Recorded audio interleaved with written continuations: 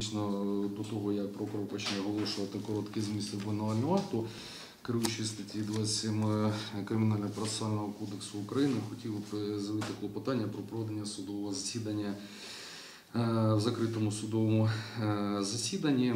Ну, принаймні цього дня, е, то взагалі можливе на всього провадження судового, оскільки як е, всі могли і прокурор е, впевнитись в минулому судовому засіданні, що е, можливо буде, буде оголошення е, особистих відомостей, зокрема щодо стану здоров'я обвинуваченого е, та його там сімейного стану і, про інші відомості. Тому ми е, це, це, це клопотання і просимо суд провести судове засідання в закритому судовому засіданні.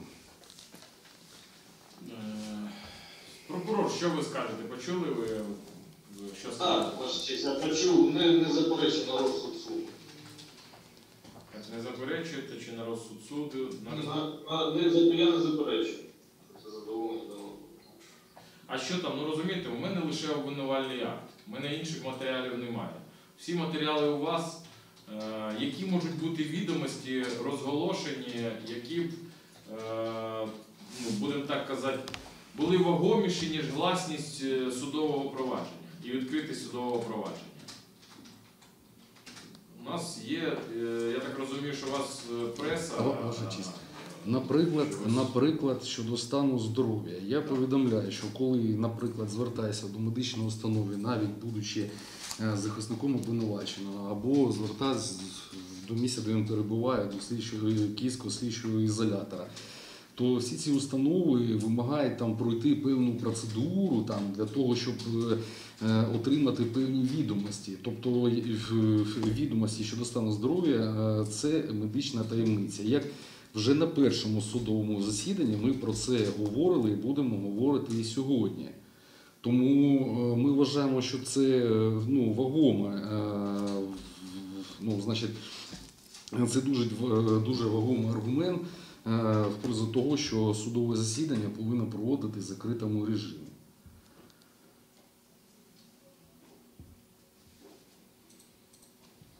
Самі відомості, тобто ми, ми не говоримо, ми не керуємося тим пунктом, який говорить, що е, якщо здійснення провадження відкритого судового засідання може призвести до розголошення таємниці, що охороняється законом. Ну, я маю там якась там державна таємниця. Ми говоримо не про це. Ми говоримо про е, саме про те, що е, будуть розголошуватися відомості, які мають особистий характер.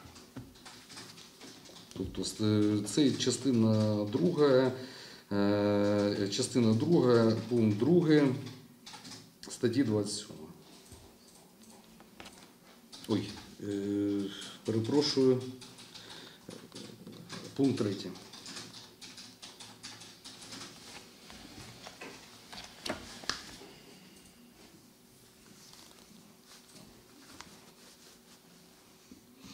Більш того, ваша честь, якщо е, говорити про практичний аспект е, з аналогічними е, справами, коли ну, фактично ці судові засідання проводились у відкритому судовому засіданні, тобто коли була присутня преса, то, то, то це привертало увагу в деяких не дуже ну, скажімо так, адекватних осіб, які приходили на наступні судові засідання, і ці судові засідання е, перетворювалися в якийсь там полукримінальний кавардак.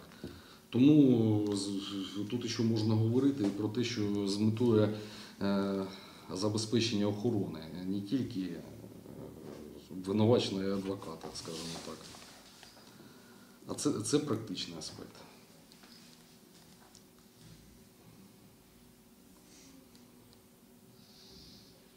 Про особисте та сімейне життя чи обставини, які принижують гідність особи. Так, пункт третій. Ну так. Необхідності запобігти розголошенню відомості про особисте та сімейне життя чи обставини, які принижують гідність. Які Так. дані можуть Про стан здоров'я це елемент особистого життя.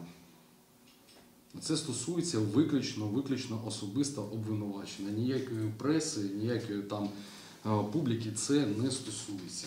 І за подібні справи, ну принаймні Херсонський суд ніколи не відмовляв задоволення подібних клопотань, якщо Е, навіть якщо це були такі полуполітичні питання, однак, е, якщо це стосувалося здоров'я, то ніколи не відмовляв. Я ж прошу е, сьогодні, я нагадаю, тобто, якщо було просто, ну, скоріш за все, е, будуть вступні промови. І ми маємо намір також е, зазначити про стан здоров'я, як і на минулому судовому засіданні. На минулому судовому засіданні ми про це не зазначали, оскільки преси не було. Сьогодні преса.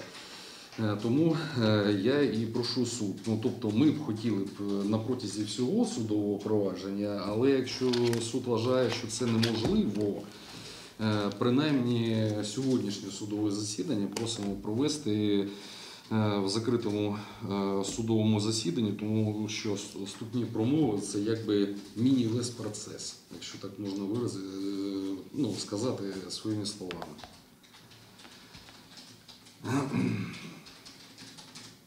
У нас не тільки журналіст сьогодні, у нас сьогодні, е, сьогодні присутній в залі засідання представник повноважної справ людини. Ну, справ.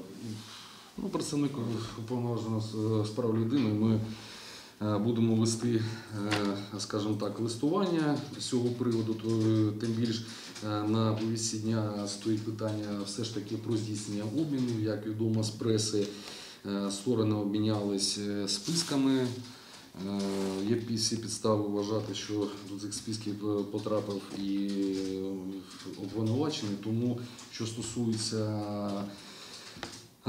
представника омбудсмена, так скажемо, то я не вважаю, що це якось вплине на його професійну діяльність. І я не думаю, що він буде проти. Зрозуміло.